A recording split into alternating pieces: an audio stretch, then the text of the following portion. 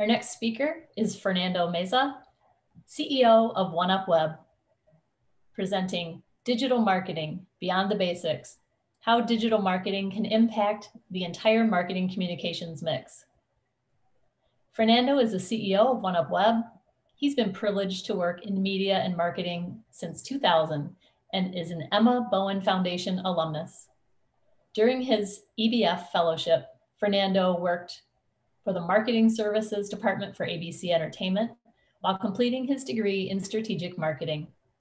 After college, he spent six years in Los Angeles working for a creative agency in a variety of roles, ranging from producer director to post production to music supervisor, launching series television such as Lost, Desperate Housewives, and Extreme Makeover Home Edition, as well as co branded campaigns between Disney Cable Networks Group Properties and Honda. In 2009, Fernando moved to New York, freelancing for cable network groups and creative agencies based in New York City and LA before pursuing a career in advertising. After five years of working with an amazing network of professionals on brands like HBO, Johnnie Walker, Smirnoff, Puma, and Prudential, Fernando accepted a position at OneUp Web, a digital marketing agency here in Traverse City. In his first year with OneUp Web, he led new business development initiatives, securing over $1 million in new business. In 2014, Fernando accepted the opportunity to acquire OneUp Web and become its CEO. He has repositioned the already successful agency into a company relevant to the new challenges that brands face in this digital age. Throughout his career, Fernando learned that specific themes always triumph. Be nice, honest, and authentic. Stories always win. Amazing creative is inspired by amazing strategy. And teamwork makes the dream work. He serves his community as a board member for Traverse Connect and Northwest Michigan Health Services, a federally qualified health center. Welcome, Fernando. Thank you, Jody. Uh, that was a little embarrassing for me, but I appreciate you trudging along. Thank you. Um, and a quick shout out to, you know, wearing my NMHSI hat. Get your flu shot at NMHSI. It's free, it's easy. Come check us out. So, without any further ado, um, as Jody mentioned, my name is Fernando. It's a privilege to, to be here today. I really appreciate the opportunity to connect with you. This is obviously a little different in that normally I'd be able to look at uh, you, but I certainly want to create an environment that allows you to be able to ask questions. Uh, some of the content that I'm going to be going through uh, can, can certainly be a little dense. Um, and I imagine so that, that at three o'clock, uh, you know, uh, I'm sure everyone's uh, fighting that urge to take a quick nap. So I will try my best to, to bring the enthusiasm um, as it relates to digital marketing and marketing in general. Um, and please, by all means, feel free to ask a question. I certainly want to create an environment of just communication here, uh, albeit uh, through this virtual setting. So I'm going to go through uh, and, and try to leave as much time um, at the end of my session for questions. Um, so if, if you do have questions related to a topic that I'm uh, currently going over, you know, it's it's certainly okay to, to drop them into the chat and, and I will do my best to answer them, but do know that there will also be an opportunity to get those questions answered uh, later on in the session. Um, and I do believe that this session will be provided to you, at least in recording, and then also the slides as well. Um, and we have a unique uh, landing page that we created at oneupweb.com that we can share as well so that you can go uh, and, and, and subscribe to certain resources that I'm going to be going over in this session. So uh, without any further ado, I'm going to go ahead and get started here. So we have an opportunity of working with a variety of different clients across many, many industries across the country. And you might be surprised to know that there are very common themes that we always encounter across all the organizations. And this varies across industry, it varies across different industry maturity. But uh, the thing that, that we wanted to share with you is that you know you're not alone.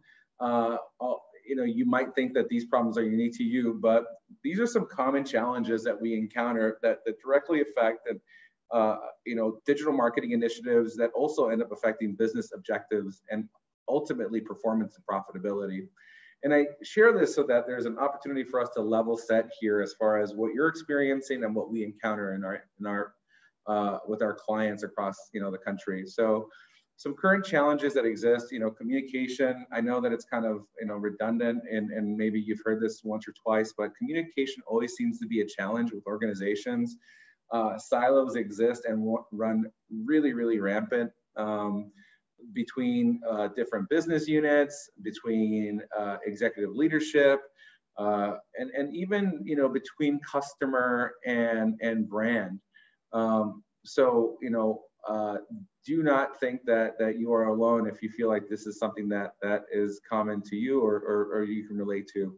Um, this common theme that that we also see is that there's always this this opposition and these there's the oppositional forces between sales and marketing you know the, the definition of marketing includes sales and uh, in our experience we always uh, see that sales ends up being the priority over marketing and and the only time that sales communicates with marketing is when they need a sales sheet or an update to a brochure um, and, and I think that there's always an opportunity to, to break that relationship and understand that marketing helps the function of sales. It adds value to that transaction, to that interaction, and these two things work hand in hand. Um, you know, the, the big one that always comes as a surprise to me is that uh, the customer always lacks a seat at the table. It is so easy to hear from your customer uh, if you're a retail brand, I'm sure you hear from uh, them all the time. If you're a restaurant, I know you do. Uh, so, you know, there are opportunities for you to engage these customers outside of moments of, of you know, that are related to customer service. So, um, you know, think about that as you go through your process of planning and, and really ask yourself whether or not the customer has a seat at the table. Um, another uh, bucket of challenges that we see are understanding um, you know, uh, marketing is, is an afterthought. Um, it's not something that's prioritized. There's no channel, as I mentioned earlier, as far as that voice of the customer. Uh, and and it, it's the departments that we interact with are always under resourced. Uh, there's one person that has 10 or 15 different hats. Uh, and I can tell you right now that, that marketing is very, very complicated and you need more than just a marketing manager to be able to handle that. And it's really interesting to me that that we see this theme play out across our client base where you know we're talking about big organizations you know with that make a lot of money um, and the marketing department is is anemic at best um, technology uh, is another thing that that we see as a barrier uh, for clients that are trying to navigate you know marketing in this day and age. Uh, either technology is out of date, um, it's being handled in a really, um, I don't want to say traditional way, but uh, we have found that in some organizations that the function of, of the administration of a website is still handled by IT, which I always thought was really weird because the only time I ever want to talk to IT is when I, you know, have a problem with my email or something like that, not when I need to change landing page copy, uh, or update products in my feed or you know implement SEO strategy. Um, the other thing that, that we see as, as a theme as it relates to technology is that it's seen as an expense instead of a value add, which I've always thought was, was strange because in this day and age, you know, everyone knows that domains, you know, are, are things that are, you know, transacted right? Like, you know, if you've ever had an experience with a domain squatter when you want to acquire uh, a, a domain or, or when you think about it like this, the amount of energy that you invest in your digital marketing strategy is actually an asset, right? Like, and that's something that we at, at OneUp Web, we have these very unique products that help, you know, private uh, equity companies decide value of a company's uh, web presence. And so I think that that there needs to be a shift in the industry as far as you know viewing these things as expenses versus seeing it as value and investments. Um, the I think that that leads into my my last point under this bucket of of outdated schema and and what I mean by that is the mechanism by which we determine value and our constructs for measuring such is really outdated. I find that that C-suites are often very removed uh, from what's happening at the marketing level, um, which which is a shame because you know what happens in the marketing level in, impacts so many different things that that is very important to the C-suite. So I think that that if anything, um, what COVID has done recently is is made it very apparent as far as how important uh, it is for us to change the way that we think, change the way that we operate, and update our method uh, uh, by which we run, you know, schema through. So, um, you know, the last bucket here, as far as challenges are, are measurement, um, is what I'm doing working. Um, how do I measure this? Uh, what are my key performance indicators that we determine value? And and you know beyond just vanity metrics right? Which is like you know you can drive a ton of traffic to a website but unless it's the uh, you know the appropriate audience or persona it really doesn't matter uh, because you know conversions aka whether or not somebody transacts with your website or engages with your website doesn't really matter um, and, and then the last bucket there is is measuring brand sentiment and how you report on that engagement.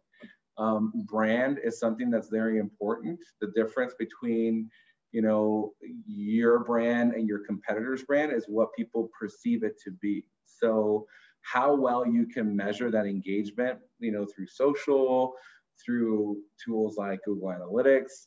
Um, those are things that that that people struggle with only because they get a little bit jaded and cynical of the data that comes through. So that's just, you know, some current challenges that we experience, you know, when we engage with clients across the spectrum of industry here at OneUp Web. This is always a, maybe some of you all have seen this cartoon in LinkedIn, but, you know, it's, I know that it's kind of cliche at this point, you know, and, and it's really, something that that um, I don't want to belabor too much, but I think it's obvious that COVID has changed things, and and we personally here at the office saw this as an opportunity where overnight businesses were trying to transform themselves into becoming different types of businesses and trying to leverage technology to do that. And you know survival and the sense of urgency can be a hell of a motivator when you're trying to figure out how to operate in this new normal. So um, I think that this image uh, uh, quickly, you know, uh, drives that point home. So as far as an agenda here, now that we've kind of level set and talked about some challenges that we're seeing, you know, across the industry and what we're helping our client, clients navigate, um, what we're going to get into here is how you can use a tool like Google Analytics um, which is a free tool that Google uh, gives you uh, so that you can manage you know, your website and a variety of other um, uh, initiatives related to your website, both on page and then through social referring channels like, you know, like social. Uh, but also how you can leverage the information that Google uh, provides you to make better decisions about your marketing mix. I think that that for those of us that have been in marketing for for a while now, marketing for me, at least in my experience, has always been something that's very fragmented. And I'm talking like when I first started in 2000 as an intern at ABC, to then going through and doing stuff at a higher level in, in New York when we are doing big multi, you know, media uh, buys that were hundreds of millions of dollars is that you had a lot of uh, uh, fragmentation uh, as far as skill set. You had your PR department, uh, you had your media buying agency, you had print, you had digital. And it was really up to the client to figure out a way to connect all those dots in a way that was meaningful beyond just measuring brand impression. and nowadays, and it's certainly become apparent, you know, here at One Up Web, especially with the type of work that we're doing in the last three years, is that is that digital has an extraordinary opportunity to be able to connect the entire mix. And in fact, instead of being a piece of the pie that that is a part of the marketing mix, it could be the leading force that not only informs all the channels, but also helps to connect the entire ecosystem. Um, and that has been something that's been really exciting. Uh, it's certainly been, been, you know, challenging, you know, because essentially we're, we're developing new modes of operating that don't really have, you know, like, it's not like I could go to, to, to Amazon and buy a book that tells us how to do this. It'd be great if somebody did, uh, um, but that does not exist. So um, but the opportunity for us to be able to leverage Google Analytics, at least in a very fundamental way, is what I hope to be able to cover here with you all. So certainly excited to jump into the actual substance here. Um, so just to give you just a quick introduction to what you can do with Google Analytics. And for those of you that are really familiar, I apologize. Uh, but I certainly want to make sure that I at least level set for the conversation. And excuse me real quick while I take a deep uh, break here. Um, usually I'm not used to talking this much, but I'm sure some of you might beg to differ. Uh, Google Analytics. So in this dashboard, you can get insight into users, uh, meaning uh, the people that visit your website in, in within a certain date range. Uh, the dimensions uh, that are, also available for you to, to be able to determine like descriptive characteristics, meaning um, what browser did they come from? Was it, you know, Firefox? Was it Chrome? Uh, was it Safari? Was it DuckDuckGo or whatever other janky ISP exists out there? Um, and then like what device did they use, right? Was it mobile? Was it uh, a tablet, desktop? Uh, within uh, Google Analytics, you could also get into specific metrics as far as how much time did they spend engaging with your website? Uh, what you know how long is the, the, the duration by you know by session? Um, you know where do they click after they come in on a landing page? Um, you know the amount of information that is available to you in google analytics is extraordinary. Um, how much you know whether or not they bounce and what that means is so I think you all done this, right? Uh, like where you inadvertently click a link because you're just kind of scrolling through your phone and and you end up in an area that you don't necessarily want to end up. That sounds a lot weirder than it actually. but you know, it's just like that bounce rate, right? Like how quickly people jump as soon as they land on your website. Um, that's what we mean by bounce rate. Um, and then you know the sessions, you know, like uh, during a, a certain period, you know how actively engaged are the people that are coming to your website? So um, these are just you know some buckets that exist as far as uh, you know what google analytics provides you.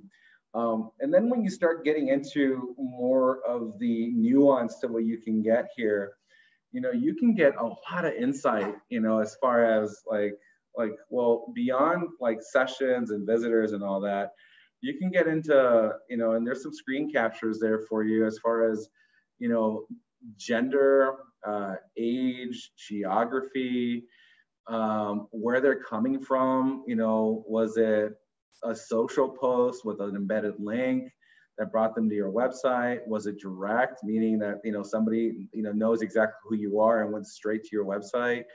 A referral link, whether or not, and you know, referral link is if if you know somebody writes about you uh, in a blog post and drops a link in their blog uh, that ends up you know referring back to you um, or whether or not it's a straight up organic search where you know somebody is doing a search like you know uh, eye doctor near me um, uh, whether or not the traffic comes from email or or if it's directly correlated to a paid search campaign that you're actively running um, and then, you know, beyond that, you know, behavior, you know, what are they doing once they get there?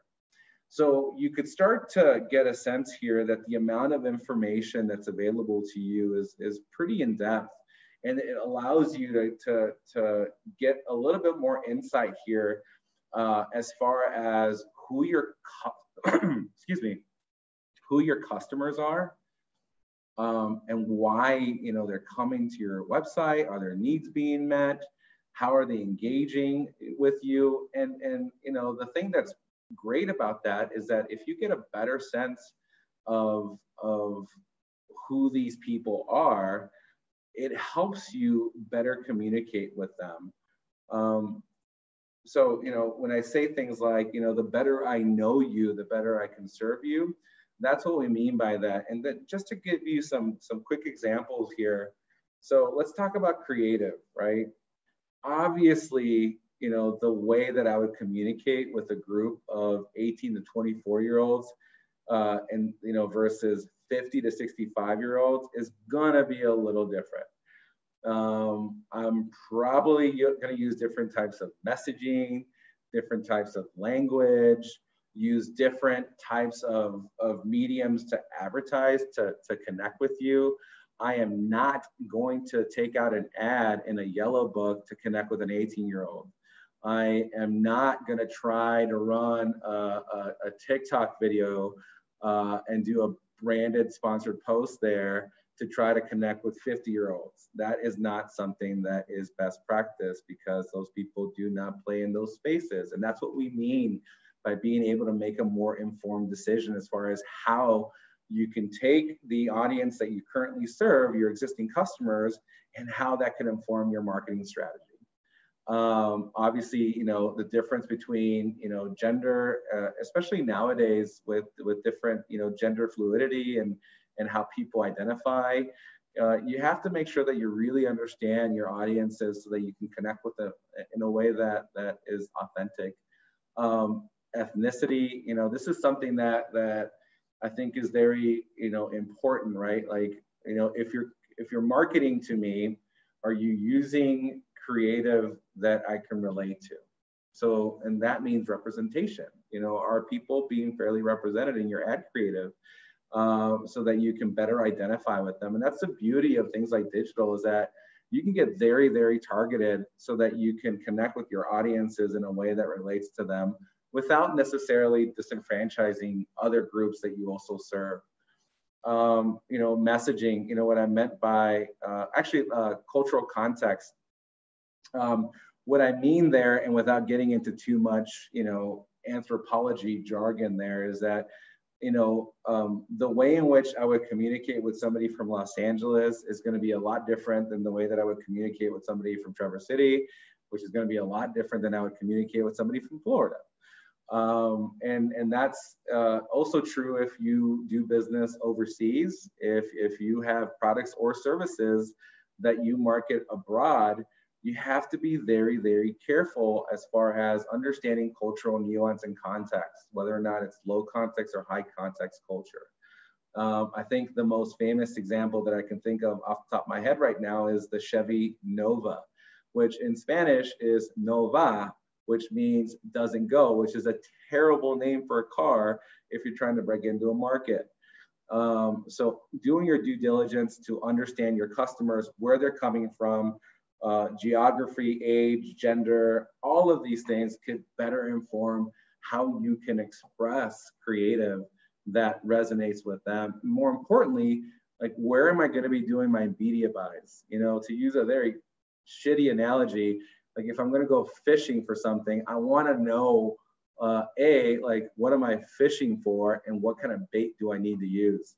Um, so, you know, if anyone has any questions there, please, you know, I can certainly dive in deeper at the end of the session there. But, um, and that's what we mean by, you know, going back to the whole topic here, which is Google Analytics can give you a lot of information about your audiences so that you can make more informed decisions here.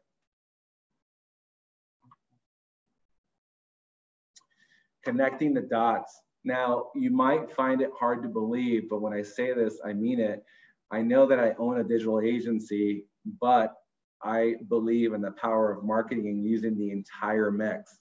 I am not solely going to recommend that you do everything in digital.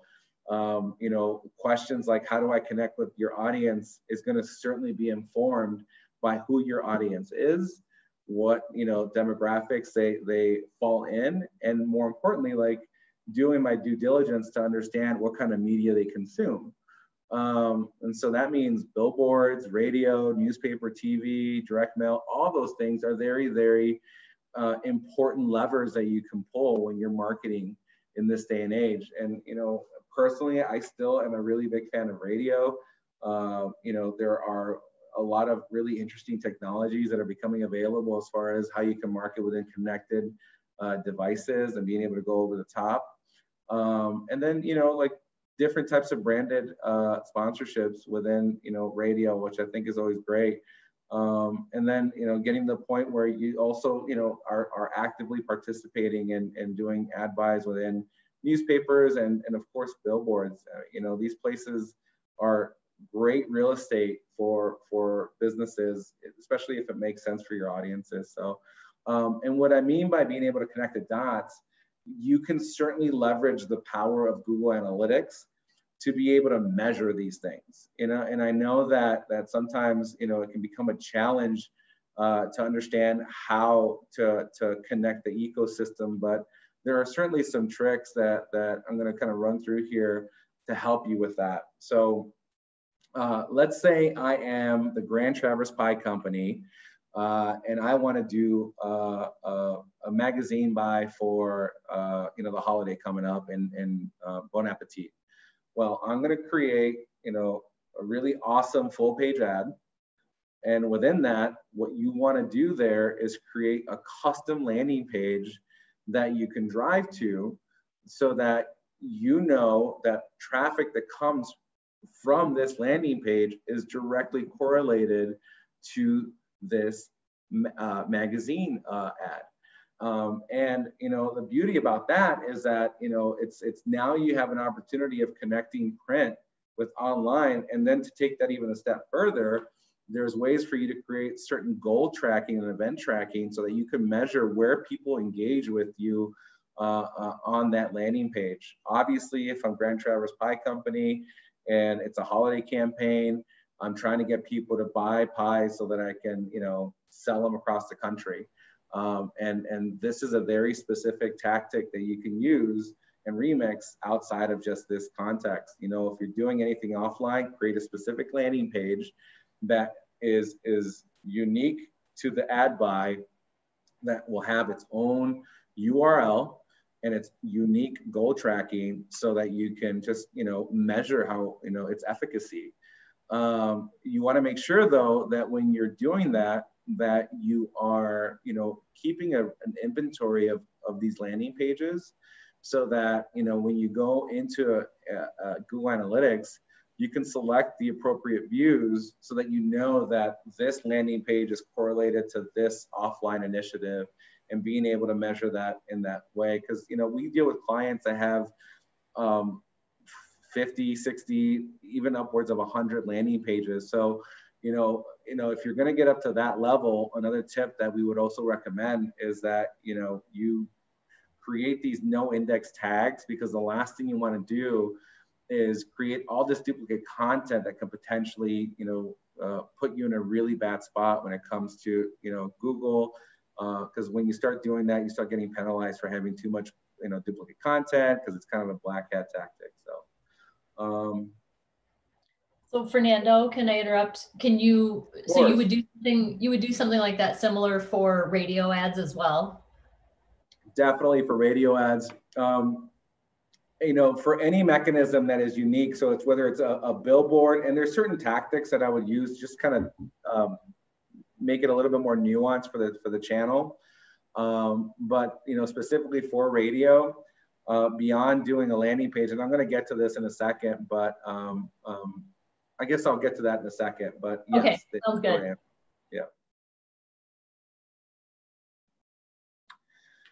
Um, so, you know, redirect domains and short URLs. So this is something that's very important, you know, for Billboard, or if you do like, you know, if you have any kind of branded vehicles, um, some of these URLs can be very, very long.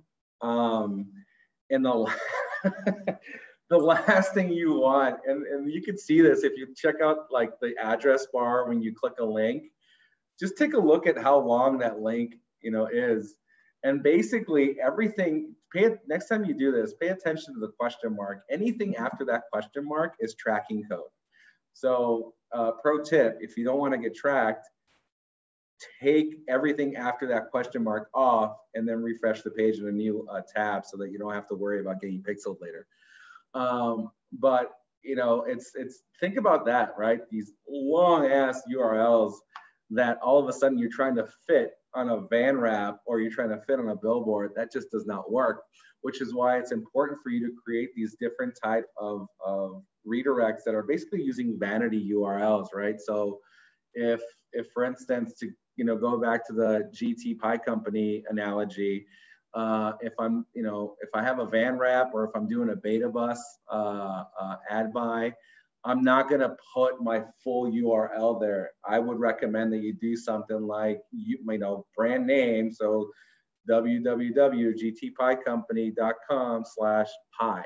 Something really, really, really specific, really, really short, because you can always redirect these people to the appropriate landing page uh, or the appropriate area on your website. So um, it, same thing goes for van wraps, and that's something that we we always uh, educate our clients on, so that you make it a little easier for people to be able to um, to remember and think about like uh, the flash test, the flash test, which you know I probably should, I'm going to change that, uh, Jody, before I give you this uh, deck. And what I meant by that is okay. Uh, um, is if you can put you know something on a cue card and quickly you know show somebody and then put it away like like what's the recall there right? That's how quick we're talking about here.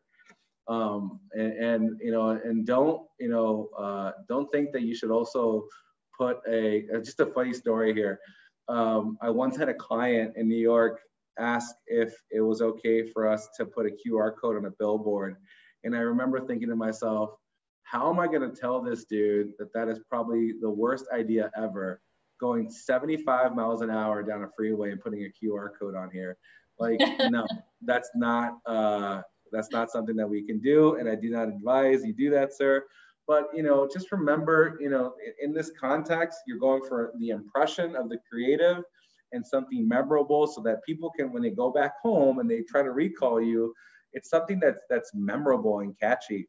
Um, another tactic that you can use, and I've seen uh, who's a local, is it My North? Yeah, My North. Whenever they do advertorials, they use the bit URL function, so Bitly, to create you know unique uh, URLs, shorten URLs in their blog content, so that it's not this long ass you know uh, uh, link. Um, and I imagine they do that so they can also report out on performance and engagement, which is important if you're a client that's buying media here. So um, take advantage of redirects, take advantage of these vanity, you know, URLs so that you can make it easier for, for people to be able to remember, you know, you and, and more importantly, where they should go later on when they get home.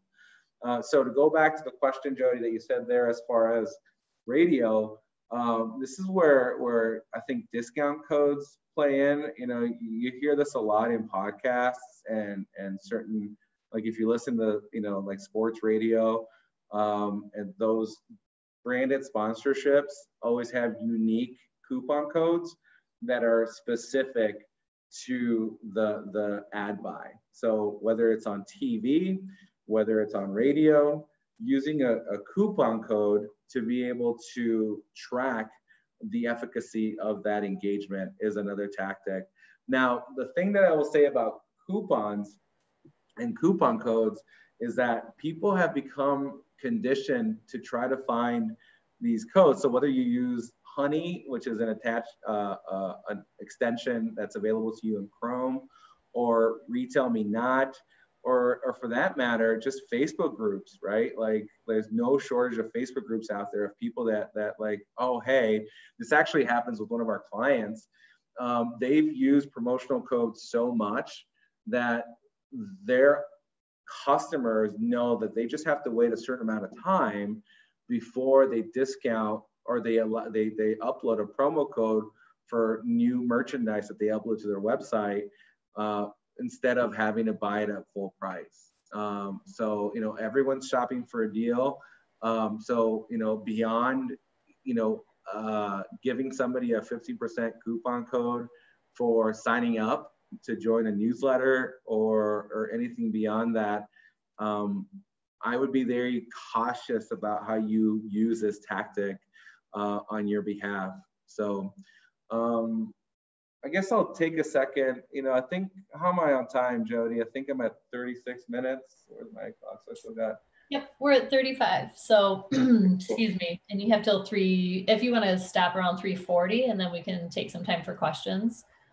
I'll do that. I got one other slide that I want to get to before I do that. So, um, you know, in in uh, the past, uh, or at least what I've been discussing here up to um, this point is how you can use, uh, you know, the data that you get in analytics to make better decisions as far as, you know, creative, um, um, and how you can use that information so that you know um, how to do better media buying is is something that is is is a tremendous like uh, opportunity that exists for you all if you just know what what you're looking for in Google Analytics and just with a little planning, uh, those you know basic tips that I kind of just shared are are a way for you to be able to get better at at just you know uh, marketing in general outside of just digital advertising. So um, some additional considerations that I just wanted to kind of like like take the opportunity to, to communicate to you um, because I think that these are very important and, and I certainly are, we're very passionate about these things here at the office, you know, so dare to be different, right? And so um, as barriers to entry lower and access to technology increases, differentiation is very, very important because you know the industry becomes very homogenized, right? Like I, I, don't know if you guys haven't seen those videos of of brands and their COVID message, like the the the clip montage, like on YouTube. Take a take a second to look at that. I swear it's the same script just said over and over and over again, you know, and and that doesn't feel very authentic. It feels very disingenuous, right? And I think that the one thing that, that I would challenge you all to do is just be different, right? Everyone's kind of checking the same boxes. And if you want to stand out, you really have to break out of your shell and, and, and try to do something that's a little bit outside of what you know everyone else is doing to get noticed. I'm not saying that you need to while out here, uh, but I am saying that that you should really invest in in being you know creative and at, at the very least being very honest uh, so that you know consumers can feel like you're being very authentic with them because people know when you're talking shit you know and when you're just kind of bullshitting them. Uh, and at this point you know i would much prefer somebody just tell me straight like like what their you know what their messaging is or just being very thoughtful instead of trying to sell me something that they're not. So um, you know the second point that i wanted to make here is is you know being very customer centric we've all heard of, you know, like the patient-centered model when it comes to health. Well, the customer, you know, the customer-centric model is something that I think needs to be adopted here. And what I mean by that is, how do you put your customer, and this, these are conversations that need to have happen at, at you know, all throughout an organization, at the C-suite, all the way on down, is how do we put the customer at the center of everything, and then how do we create operations and mechanisms around that to better engage with them and to better serve them you know it's it's not about you. It doesn't matter that you've been doing something for 20 35 plus years. Nobody cares. They don't care. What they care about is like how does this personally affect me?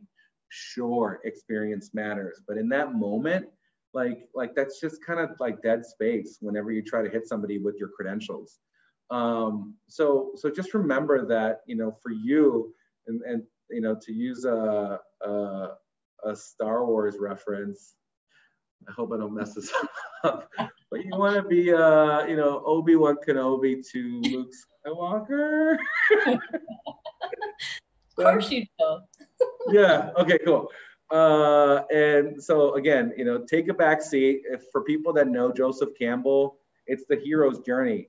you know, like, or, or to use another reference, the, a brand story, uh, which is an amazing book. If you haven't read it, read it, please get it today. Get an Audible credit, cancel your subscription on Amazon as soon as you get that free credit. So uh, go, then the last point that I wanted to make here is user experience as a business objective and imperative you need to really understand that that you are trying to remove as many barriers to engagement with your customers as possible do not assume that that people will go out of their way to to to do anything more than they have to right and so when you understand that you know that's where user experience kind of comes in this is specific to digital advertising I think that sometimes people just look at that and sometimes think that it's just relevant for for accessibility and being ADA compliant.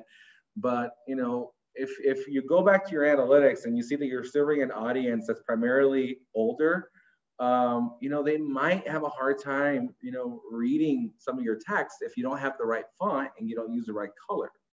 Um, and making very small decisions like that will have a big impact when it comes to ROI. And all you're doing there is just picking a better font and choosing a better color. And so understanding that user experience and accessibility and compliance are not things that you have to just check from a compliance perspective, but it's an opportunity for you to know your audience a little bit better and curate a better experience for them is what we're talking about here. Uh, because do not assume that people will go out of their way to, to give you money. Uh, you have to make it very easy for them to do that. So um, with that, uh, that basically, you know, ends uh, this TED Talk. Uh, but I would certainly like to open it up for questions. Uh, the next is just uh, uh, just some of my colleagues that are a lot smarter than me at the office. I'm glad that I used the photo that has eyebrows of me and not the one that my colleagues photoshopped my eyebrows out here. So. Oh, nice. Nice. They're, they're a fun group. Uh, and then I'll just kind of end it here with, with a picture of my dog, which he's, he's here napping right now. What's the dog's name? What's the dog's name? His name is Tedrick Lamar, AKA Teddy. Perfect. So. Oh, there he is. Yeah, we do have a couple questions. So let me click over here. Um, how important is it to have scheduled paid social posts instead of just posting randomly and assuming your target audience will see it? That's very important. That's a great question. So Facebook became an amazing like drug dealer, right? Like uh, yep. the, the first few are free, but then afterwards, you know, it's a pay to play model. Um, it is a better publisher uh, from a paid perspective than Google is. Um, and, and, you know, you'll notice that, for instance, you know, we have a certain lifestyle client that whenever they post lifestyle content, the engagement goes through the roof. You know, it's a beautiful image of somebody that's like boating or somebody that's out in nature or something like that, right? Right. right. But then the moment that you hit like some messaging that it's like, oh, here's a deal on X and Y, like you go from like having X amount of engagement to virtually nothing. So I would always advise that you basically put money behind every post. Um, and oh wow, okay, yeah, I, I really would. You know, at a at a minimum, you know, doing something like like twenty bucks or something like that, and just you know starting from there, and and you know make sure that you have everything accurately tagged so that you know like all right after a while of me doing this at this level like then you start a b testing mm-hmm. okay great that's yeah that's good to know. Surprising. I'm sorry that i didn't see this one pop up immediately when it was posted. Um, someone wants to know what was the name of the book you just mentioned? Oh uh, uh, the brand story. That say it again. Brand story. Brand story? Yep. Uh, okay yeah, if you just do a, a Goog uh, uh, brand story, let me see if I can find the author real quick.